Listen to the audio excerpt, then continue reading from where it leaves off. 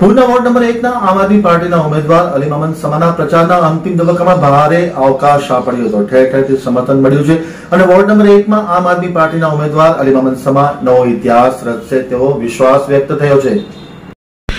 ભુજ નગરપાલિકાના ward number એકમાં આમ આદમી પાર્ટીના લોકપ્રિય ઉમેદવાર અલીમામન શમાના પ્રચારના અંતિમ તબક્કામાં ભારે જવલન સફળતા સાંપડી હતી. ઠેર ઠેર તેમને આવકાર સાંપડ્યો હતો. ખુદ લોકો તેમને ઘરમાંથી બહાર આવી અને તેમનું ભાવભીનું સ્વાગત કરતા હતા હારતોરા કરતા હતા, મોં મીઠું કરાવતા હતા અને શુકન કરાવતા હતા.